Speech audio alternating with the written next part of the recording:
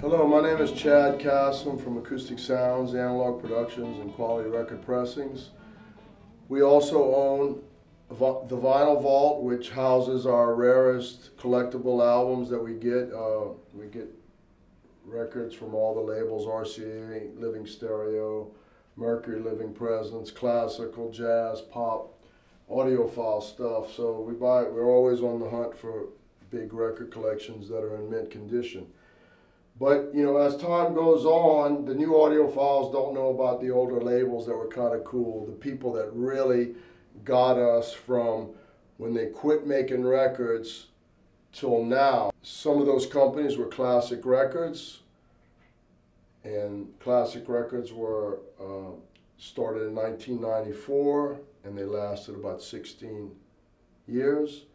There was Classic Records, there was Analog Productions, our label, there was uh, Alto, there was Athena, there was King Super Analog, there was DCC, there was the original MoFi, and uh, there's a few other labels that in between, between like 84 and 2000 that kept things fun and happening and you know they were the only we were like the only people putting out records so in around 1997 there was a label started in germany it's called alto analog by joachim bose and he worked along with Thomas Finn on a few projects. He worked along with Ying Tan on a few projects. Uh, we were one of his biggest dealers. And from 1997 to about 2004, he put out about 40 records, 40 really good records. And he used Bernie Grundman and people like this to cut his records.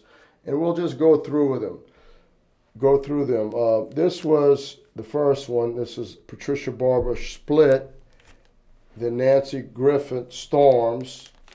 Then Ahmad Jamal live at Alhambra. This is one of the best recordings ever, especially best live recordings. If you like Waltz for Debby, Sunday at the Village Vanguard, and those type great jazz live recordings, jazz at the pawn shop, this Ahmad Jamal Alhambra is a great record, great sound, very accessible, goes for lots of money. This is Argenta edition. This is all the Argenta recordings that were done on the Decca London label, but they were on. Uh, they also were done in Spain, and so these are those records. And these are very, very rare. Each one of these records are very rare. And this is how they came out originally. The covers by London and Decca were all different, but these were the ones that came out from Spain. So this is a great collection of records that are highly hot, especially this one, Concerto. This one is very, very, Rodrigo, very good. All of these are very good records. And some of them go for a $1,000 a piece. Well, all of these were redone and, and put out as a box set. And we used to sell a ton of these records here. They're awesome. Very rare do I see this box set come around and this thing is absolutely mint condition. There's a nice booklet explaining um, the conductor Argenta.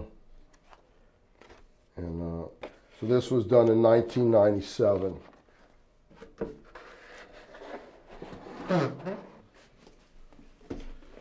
Then there's John Lee Hooker Killer, Killer record. Great music, great sound. This was from Chess. Pop Pop, Rickie Lee Jones. Awesome sounding, great record. Shirley Horn, Traveling Light. Out of the Cool, Gil Evans. uh, duets, Rob Wasserman, Killer. We also have this on our label, and we also have this one on our label, Analog Productions. Uh, Illinois Jacquet with Kenny Burrell, great record.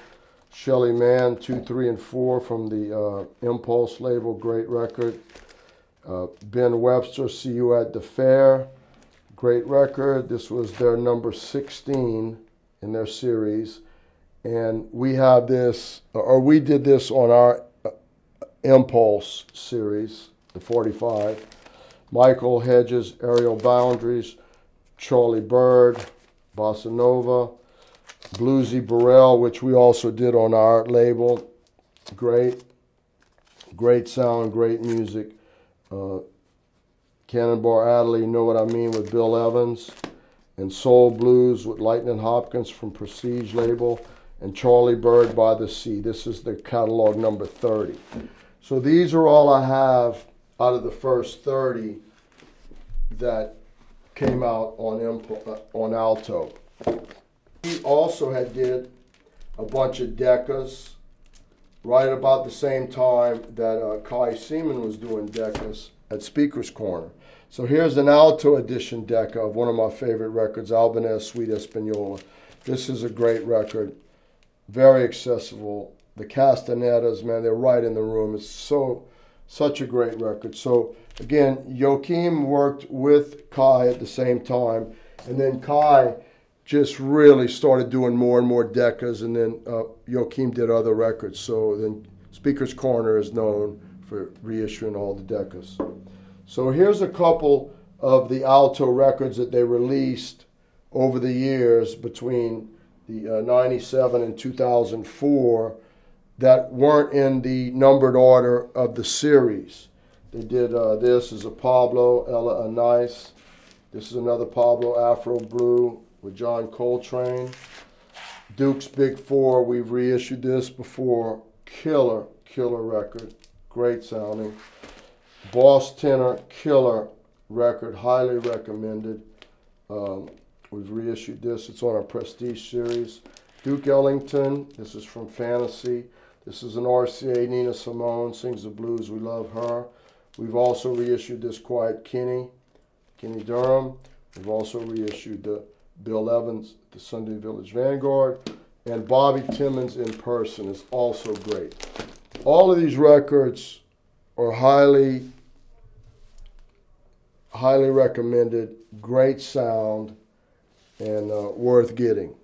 There's been other people doing, like Analog Productions and other labels have reissued some of them.